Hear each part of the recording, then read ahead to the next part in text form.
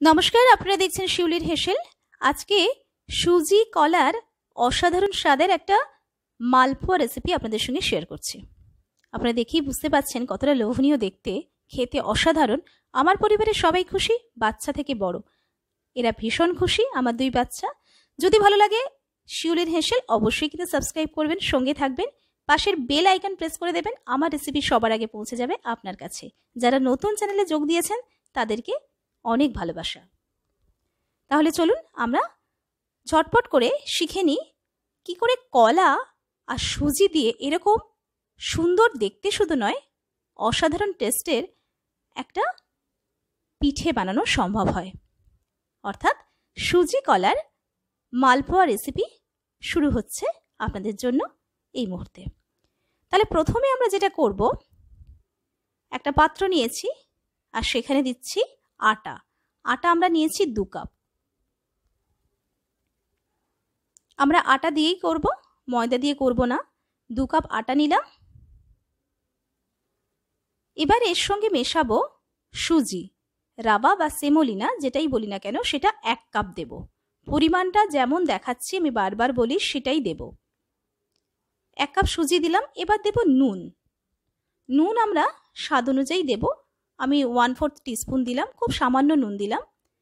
আর দিচ্ছি চিনি। চিনি এখানে দেব দেড় কাপ। এরকম দানা চিনি আমরা দেড় কাপ দিয়ে দিলাম। এবার নারকেল কোড়া এখানে দিয়েছি এক কাপ।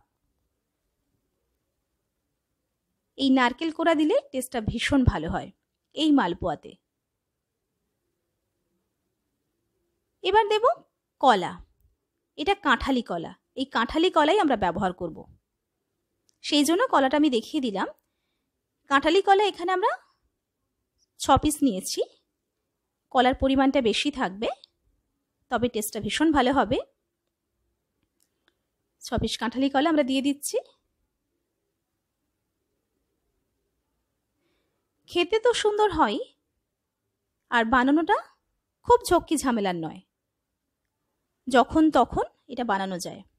এবার খুব সুন্দর করে হাত দিয়ে যেমন করে দেখাচ্ছি, এটা মেখে নিতে হবে। কলাটাকে এরকম চটকে চটকে একেবারে মিহি করতে হবে। ঠিক যেমন দেখাচ্ছি হাত দিয়ে, যাতে দানা দানা না থাকে, কলাটা একদম মিহি হয়ে যায়। সেজন্য যতটা সম্ভব হাত দিয়ে চেপে চেপে এটাকে মিহি করতে হবে কলাটাকে আর তারপর সমস্ত উপকরণের সঙ্গে ভালো করে আমাদের মিশিয়ে দিতে হবে। ঢাকনা বন্ধ করে এবার রাখব আমরা। দু ঘণ্টার জন্য। আমরা দু ঘণ্টা পরে ফিরে আসছি। দু ঘণ্টা পরে আমরা ফিরে এলাম। এই দু ঘণ্টা রেস্ট করার একটাই কারণ ছিল, এই যে চিনি বা সুজিটা ছিল, সেটা একটু সেট হতে সময় লাগে। চিনিটা গলবে আর সুজিটা একটু ফুলবে। এটার জন্য আমরা দু ঘণ্টা ঢাকনা বন্ধ করে রেখেছিলাম। তারপর আবারও ভালো করে হাত দিয়ে মিশিয়ে নেব। এবার এর মধ্যে দেব লিকুইড দুধ। আমরা প্যাকেট থেকে সরাসরি প্যাকেট কেটে দুধটা নিয়েছি। নিয়ে এক কাপ দুধ প্রথমে দিচ্ছি, দিয়ে ধীরে ধীরে মাখিয়ে দেব। এটা জাল দেওয়া দুধ নয়, প্যাকেট থেকে সরাসরি নিয়ে আমরা দিচ্ছি। আমরা একেবারে দেব না, ঠিক যেমন দেখাচ্ছি, ধীরে ধীরে প্রথমে এক কাপ দিলাম। আমি ক কাপ দুধ দিচ্ছি, একটু ভালো করে দেখবেন।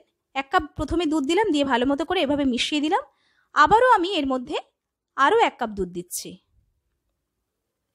দিয়ে আবারও ভালো মতো করে মিশিয়ে দিচ্ছি। এখন দিলাম টোটাল দু কাপ ভালো মতো করে মিশিয়ে দিয়ে এবার পনেরো মিনিটের জন্য ঢাকনা বন্ধ করে রাখলাম। পনেরো মিনিট পরে ফিরে আসলাম, এসে আবারও এক কাপ দুধ দিলাম, দিয়ে ভালো মতো করে মেশালাম, মিশিয়ে আরও এক কাপ দুধ আমি এবার এর মধ্যে আবার দেব। প্রথমে তো দু ঘণ্টার জন্য রেস্ট করিয়েছিলাম, কিন্তু তারপর দু ঘণ্টা রেস্ট হওয়ার পর আমরা দুধগুলো দিয়েছিলাম। দেওয়ার পরে প্রথমে পনেরো মিনিট দু কাপ দুধ দিয়ে রেস্ট দিয়েছিলাম। সেটার জন্য কেন দিয়েছিলাম? তার কারণ সুজিটা ফুলে ওঠে, আবারও বলছি, সেই জন্য রেস্ট করতে হবে। এবার আমরা ডিপ ফ্রাই করে নেব। তার জন্য কড়াইতে পরিমাণ মতো দেখতেই পাচ্ছেন, সর্ষের তেল দিয়েছি। আর ফ্লেমটা সবসময়ের জন্য লো থাকবে। যতক্ষণ না গোল্ডেন ব্রাউন হচ্ছে, ততক্ষণ পর্যন্ত আমরা ভেজে নেব। টোটাল আপনারা দুধ দেবেন পুরো এই রেসিপিটার জন্য চার থেকে ছয় কাপ। আপনাদের যতটা প্রয়োজন মনে হবে দেবেন, কারণ ব্যাটারটা এমন করতে হবে, আমি দেখিয়েছি যেরকমভাবে সেরমই করবেন। খুব পাতলা না, খুব মোটা না।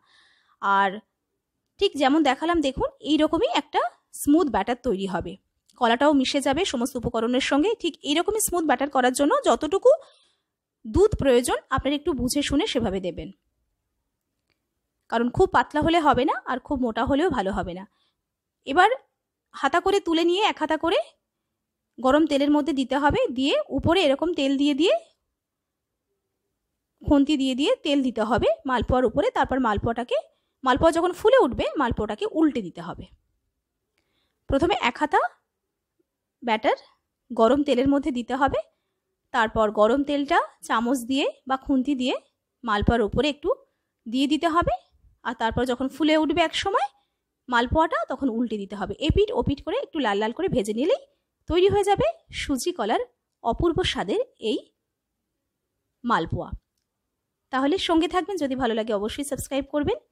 আপনাদেরকে অনেক ভালোবাসা, আমার বাচ্চারা তো ভীষণ খুশি, আপনার পরিবারও খুব খুশি হয়ে যাবে। এরকম একটা মালপোয়া রেসিপি আপনি যদি বানিয়ে ফেলতে পারেন। আর যদি মনে হয় একটু মৌরি দিতে পারেন, আমি আজকে দিইনি, অবশ্যই মৌরি দিতে পারেন। দেখা হচ্ছে পরের ভিডিওতে, আজকের মতো এই পর্যন্ত, নমস্কার।